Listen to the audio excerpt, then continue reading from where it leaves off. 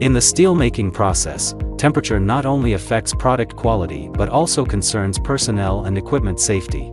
Therefore, monitoring equipment temperature is crucial in the steelmaking process. Infrared thermal imaging technology can precisely detect temperature variations throughout the process. With an infrared thermal camera, we can monitor the temperatures of furnaces, steel ladles, and iron ladles in real time, detecting potential high temperature points early. When inspecting ladles and blast furnaces with a thermal camera, damaged lining areas will show significantly higher surface temperatures compared to the surrounding regions.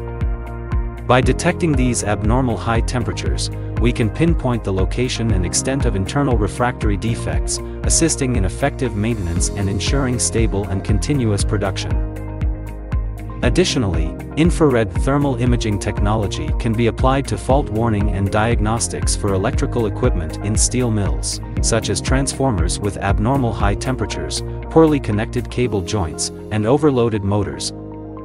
Guide sensmart thermal cameras can detect temperatures up to 2000 degrees Celsius, user-friendly, supporting manual focus, laser-assisted autofocus, and touchscreen operation. Users can easily touch the screen to focus and obtain surface temperature. Thermal cameras also offer point, line, and area temperature measurement for more detailed analysis and high-temperature alarm, allowing for further processing of infrared images. Additionally, Guide sensmart thermal cameras support multiple languages, making them accessible to users worldwide.